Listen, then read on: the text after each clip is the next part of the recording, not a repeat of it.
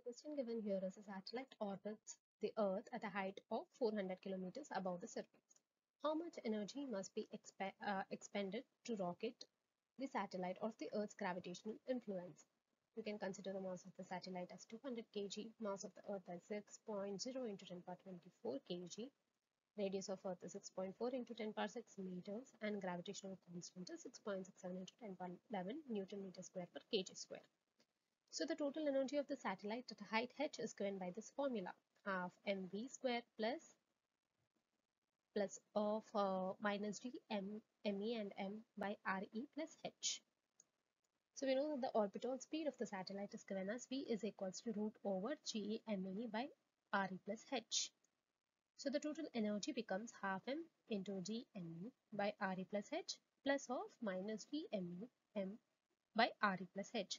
So you can take this common. So you'll be having minus half of uh, g m me by re plus h or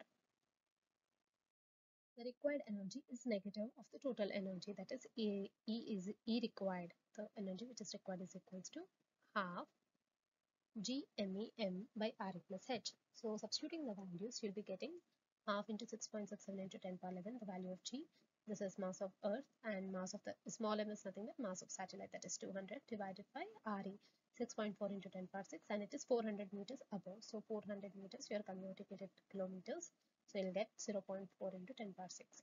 Therefore, uh, by calculating the all value, the above values, you'll be getting 5.9 into 10 power 9 joules.